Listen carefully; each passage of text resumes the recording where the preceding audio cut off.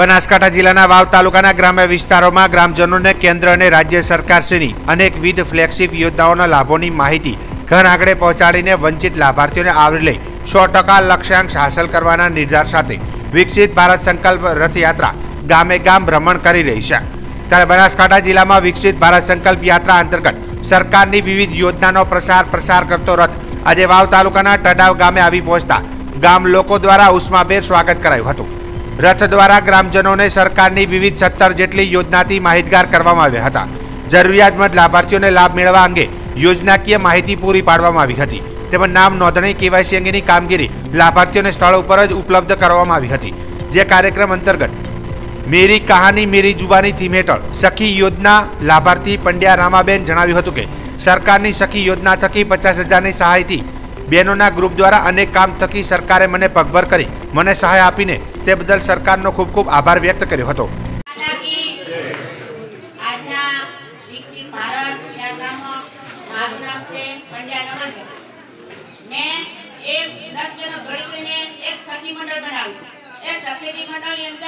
મને બાર હજાર રિયલ મળ્યું. મને થયું કે આ તો સારું સારું છે. એટલે પછી મને ટેસ્ટ ક્રેડિટ પણ પચાસ હજાર મળી પચાસ હજાર મારી જાત મહેનત ઉપર મેં નિયમિત ધિરાણ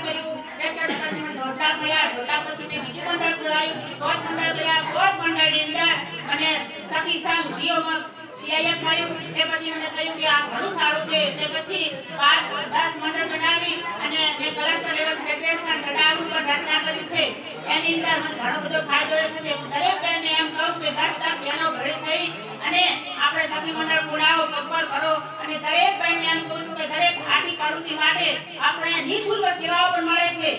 ખાખરા પાપડ ગમે તે જે તાલીમ લઈ લેવો અને પગભર થવો અને મેં મારા સખી મંડળ પર કંટ્રોલ ફેડરેશન ઉપર પંચાયત ભવન માટે માગણી કરી પંચાયત ભવન સરવાલ ગ્રામે પણ હું હાલ બનાવું છું. દરેક બહેનો સાથે મળી અને જે મુલાકાત લઈ મારા ટીએમએલઓ શ્રી દીપકભાઈ સાથે છે તેમને લઈ મંડળ બનાવો, પગભર થવો આ યાત્રા દરમિયાન એપીએમસી ચેરમેન નાગજીભાઈ પટેલ, પૂર્વ જિલ્લા ભાજપ પ્રમુખ ગુમાનસિંહજી ચૌહાણ, પૂર્વ મહામંત્રી રામસિંહભાઈ રાજપૂત ભાજપ મહામંત્રી પ્રકાશભાઈ વ્યાસ તેમજ Bharatbhai Sota Jankidas Maharaj Dhima, delegate Jagabhai Parmar Valjibhai, Vav taluka health officer Bharatbhai Manvar, Kanjibhai Rajput, Bhagwanbhai Vyas, પશુ ડોક્ટર જીબી જોશી, સુરેશભાઈ માળી, તડાવ પ્રાથમિક શાળાનો સ્ટાફ, તલાટી ક્રમ મંત્રી, સરપંચ, મેડિકલ સ્ટાફ, આંગણવાડી કાર્યકરો સહિતના અધિકારીઓ, પદાધિકારીઓ, કર્મચારીઓ સહિત મોટી સંખ્યામાં લાભાર્થીઓ અને ગ્રામજનો ઉપસ્થિત રહ્યા હતા.